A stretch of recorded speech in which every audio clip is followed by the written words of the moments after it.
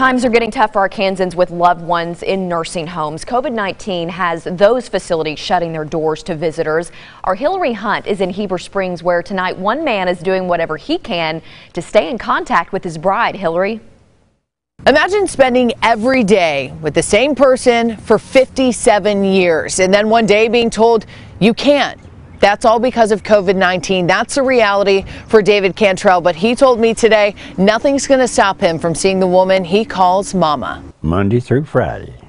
And Saturday and Sunday. Those are the days you'd typically find David Cantrell here at the Southridge Village Nursing Home in Heber Springs. She is beautiful. He does it to get more time with his bride of 57 years who has dementia. Every man should love his wife with all, their, with all his heart, you know and uh, and, I, and, that's why I love my wife. I just love her to death. But showing his love has been challenging this week. Before I got kicked out, I'd take her a hamburger every day. As COVID 19 spreads through the natural state. In 57 years, this is the longest I've ever been without her. His world. You're beautiful today. Now a window away. I cried.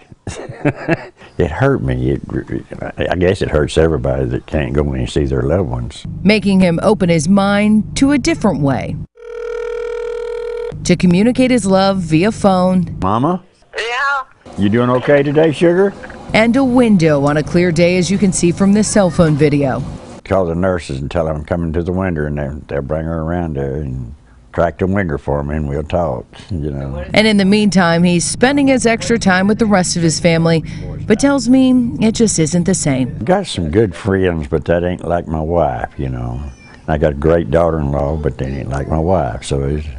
David tells me that he hopes by sharing his love story that it will inspire other people who may have family members in long-term care to just find a way to stay connected with them during this time. In Heber Springs, I'm Hillary Hunt. Back to you.